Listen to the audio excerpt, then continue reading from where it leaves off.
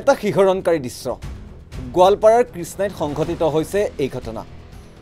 এই দৃশ্যলৈ লক্ষ্য কৰক। কৃষ্ণাই এছ বি আইৰ শাখাৰ পৰা তিনি লাখ টকা উলিয়াই এখন বেগত টকাখিনি লৈ পথৰ কাষেৰে গৈ থকা অৱস্থাতেই পিছফালৰ পৰা এখন পালচাৰ বাইকত অহা দুটা দুৰ্বৃত্তই লোকজনৰ হাতৰ পৰা কিদৰে থপিয়াই লৈ গৈছে বেগখন।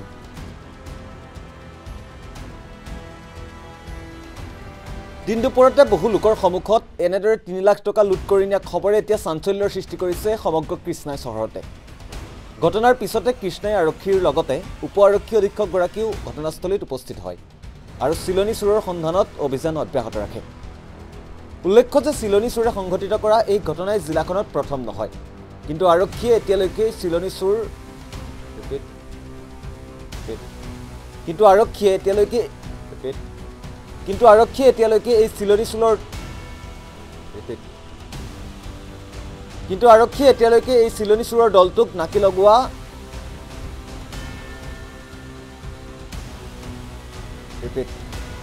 কিন্তু আৰক্ষীয়ে এতিয়ালৈকে এই চিলনী চোৰৰ দলটোক নাকি লগোৱা অথবা কৰায়ত্ব কৰাত ব্যৰ্থ হোৱাত তেতিয়া চাঞ্চল্যৰ সৃষ্টি হৈছে ব্যুৰ' ৰিপৰ্ট নৰ্থ ইষ্ট নাও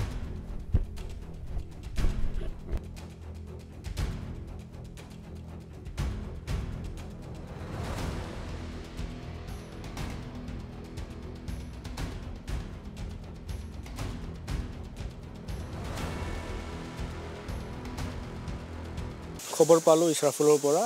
এই এছ বি আই ষ্টেট বেংকৰ পৰা তিনি লাখ টকা উইথড্ৰ কৰি এটা বিজনেছ পাৰপাছত সেই গড়ত যোৱা সময়ত ৰাস্তাত প্ৰায় এটা ছয়টা বজাত কোনোবা দুইজন দুষ্ট মানুহ মটৰচাইকেলত আহি তাৰ হাতৰ পৰা ছিনতাই কৰি পইচা লৈ গৈছে।